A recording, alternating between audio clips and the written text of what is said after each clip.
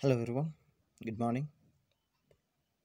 In this video, I'll be helping you to solve some NEET examination questions with their proper answers and best possible explanations. So let us start with our first question. This first question is from chemical kinetics and it goes as if the rate constant for a first order reaction is K, the time T required for completion of 99% of the reaction is given by, and the four options are given. Now, what we need to understand in this particular type of question is it is the relationship between rate constant and the time. And that is nothing but the integrated rate equation for the first order reaction. So what you need to know is the expression of the integrated rate equation of the first order reaction, which is this.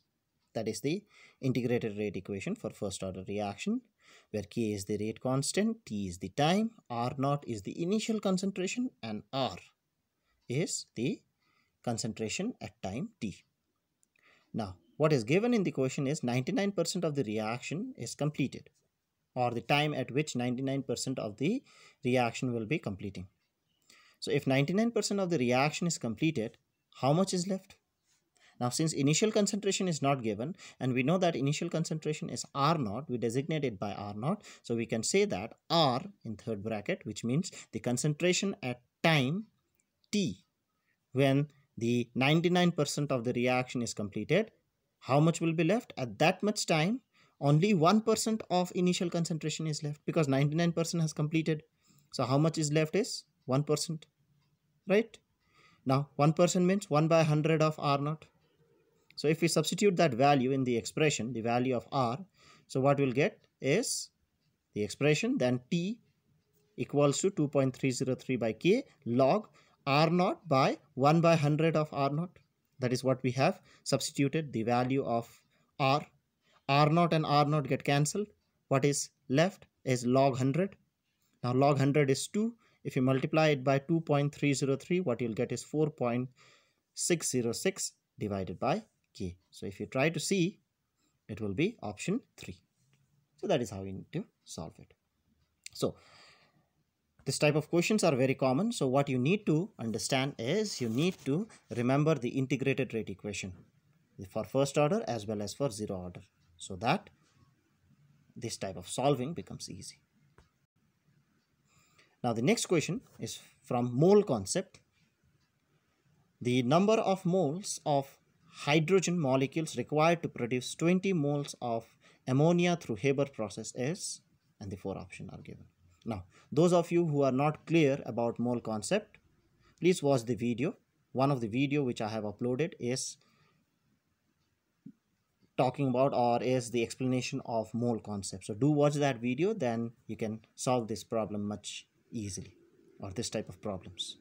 So if you see what they have asked is is the Haber's process. Now the preparation of ammonia through Haber's process is one of the very common uh, reaction which you do in your class 12 so let us try to see what is that reaction.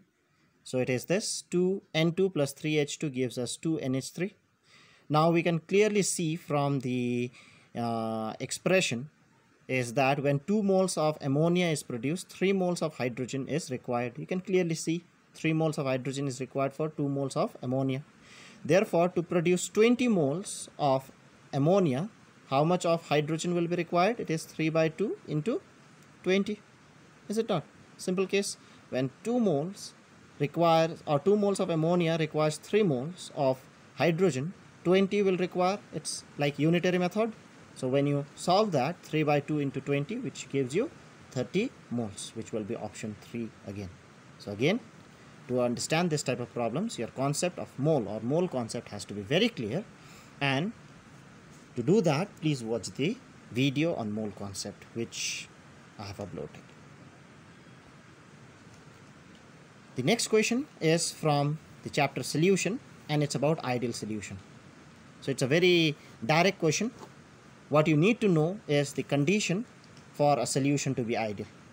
So for an ideal solution, the correct option is, then they have given various option. Now if you try to see the condition for ideality or ideal solution, what you'll find is there are three, there are others also, but three important are, it obeys Raoult's law at every range of concentration, delta H mix will be equal to 0, that means neither heat is evolved nor absorbed during the dissolution and delta V mix will be equal to 0 that is total volume of the solution is equal to the sum of the volumes of the components. So if these three conditions are satisfied then the solution becomes ideal. Now if you try to match it with the options given then what you see is option 3 is the correct answer delta H mix equal to 0 at constant temperature and pressure so that is that becomes our answer. So what is important here is to know what is the condition for ideal and non-ideal solutions. Now, the next question is about the structure, which is again from VSEPR theory. In my previous video also, I have discussed one particular question from VSEPR theory. This is again the same. So they have given us four uh, compounds of xenon and we need to get the four correct structures. Now, to get these structures, you have to have a very clear understanding of what VSEPR theory is. So, do know what is VSEPR theory, how to get structure by using VSEPR theory. It is very important, very common questions in your entrance examinations also. So, if you draw the structures of the four compounds of xenon which are given, then XeO3 will be pyramidal, XeOF4 will be square pyramidal, XeF6 will be distorted octahedral, and XeF4 will be square planar. So let us move into the next. Now this is from solid state and this type of question again is very common where you need to find the formula of a solid by using the uh, number of cations or anions or the number of elements which are occupying the percentage of octahedral and tetrahedral void. Very common questions. So let us try to see. A compound is formed by cation C and anion A. The anions form hexa hexagonal close packing, packed HCP lattice and the cations occupy 75% of the octahedral voids. The correct formula of the compound is, so the four options are given. Now, very important thing in this type of uh, questions, whether in your board or whether in your entrance examination, you must be able to find out which of the element or ions or atoms, whatever is given, so that they are packed and give you a particular solid, which of them is packed. Remember that all of them will not be packed. One of them will be packed and the others will be occupying the void. So you have to be very clear which is packed and it is clearly said in the question that the anions form hexagonal close packed lattice. So the anions is forming the lattice and the cations occupies the void. So cations are not getting packed. So the packing is actually happening with A and the cations once it actually or anions once it forms the uh, hexagonal close packing then the cations goes into the void. Now there is a particular uh, relationship between the voids and the or the number of uh, elements or atoms or ions packed or the particles packed with the number of voids. Now that is let us say that the number of anions be 100 since it is not given and you can take it to be n also you can take it to take it to be 1000 also. It be taking 100 it becomes very easy to deal with percentage. That's why i'm taking 100 that's the easiest way to deal with percentage. The therefore number of octahedral voids will be 100 now that is actually the relationship between the octahedral voids and the number of particles packed. Here the anions are packed and we are saying it's 100 and remember that the number of particles packed in a solid will be equal to the number of octahedral void present in that particular solid. So the number of octahedral voids is equal to the number of particle packed in close packing. And for tetrahedral void, it's twice the number of octahedral void. So that means if you have 100 number of particle packed, there will be 100 number of octahedral void and 200 number of tetrahedral void. It will always be twice, okay, for tetrahedral and for octahedral, it will be always be the same number as the particles are packed. So I am assuming that it is 100, so the number of octahedral void has to be 100. Now we know that all the 100 voids are not occupied. There comes our condition which is given in the question 75% of the void is occupied. That's why I have taken it 100 so that getting 75% of 100 becomes very easy that is 75.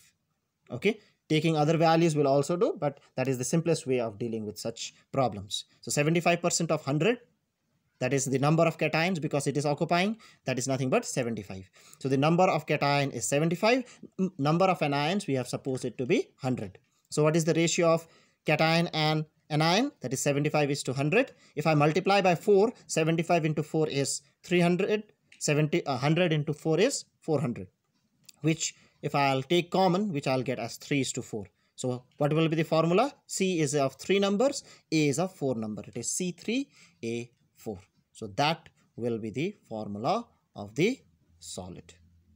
So that is how you have to deal with such problems. So important points for solving such problem is you need to know which particle is packed. Assume it to be a particular number 100 or n according to your convenience. You have to know that the number of particle packed will be always equal to the number of octahedral voids present and the number of tetrahedral void present in the system will always be twice the number of octahedral voids. So these are some important points which you need to remember for solving such problems which are very common in your entrance examinations. So thank you everyone. Do watch the latest video which will be uploaded in the channel. Thank you very much.